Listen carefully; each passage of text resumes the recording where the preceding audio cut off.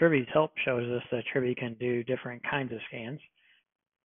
We're going to scan an image, so we want to use this option here. Before we scan the image, we need to know the name of the images that are available to us.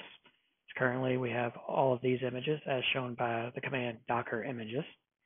And let's say we want to scan the MySQL image.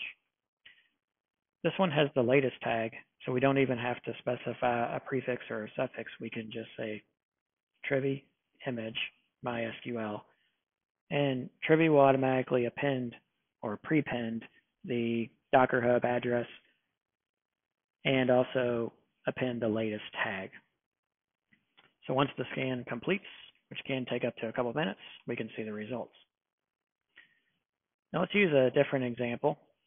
Let's say that we wanted to scan the LDAP image here. This one doesn't end in the latest tag, so we need to be a little bit more explicit about the name. So we say Trivy image, and then we're going to put the name that includes the tag on the end. Otherwise, it would just go look for the latest tag. Also, let's take a look at sending the results out to a file. So in this case, we're going to do redirection to temp results.txt. That way we'll have a copy of the results.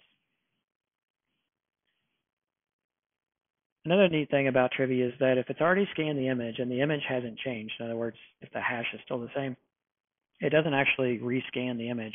It just pulls the results out of the cache and shows them to you.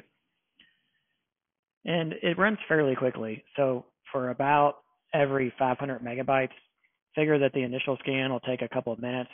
But of course, if it caches the results, then it'll only takes seconds to pull back the latest results.